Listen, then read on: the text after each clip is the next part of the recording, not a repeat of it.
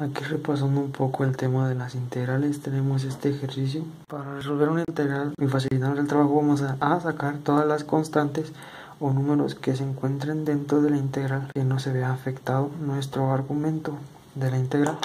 Por ejemplo aquí el 3.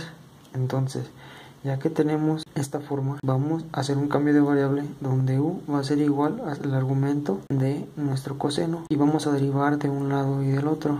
Entonces, nos queda 2x de x. Aquí para despejar nuestro x de x que es lo que tenemos acá vamos a pasar dividiendo nuestro 2 entonces tenemos sustituyendo en la integral nuestro x de x que es este que tenemos aquí lo vamos a sustituir por, lo vamos a sustituir por nuestro du entre 2 entre coseno cuadrado de x cuadrada que es u hasta ahí vamos bien. Entonces, como dijimos que íbamos a tratar de sacar todos los números y todas las constantes, aquí tenemos un medio. Vamos a sacar ese un medio de nuestra integral y nos queda de u entre coseno cuadrado de u. Aquí multiplicando nos queda 3 medios. Aquí tenemos que 1 entre coseno es igual a secante, entonces tenemos 1 entre coseno cuadrado, entonces es secante cuadrada de u de du. Y aplicando la fórmula tenemos 3 medios de tangente de x cuadrada más c.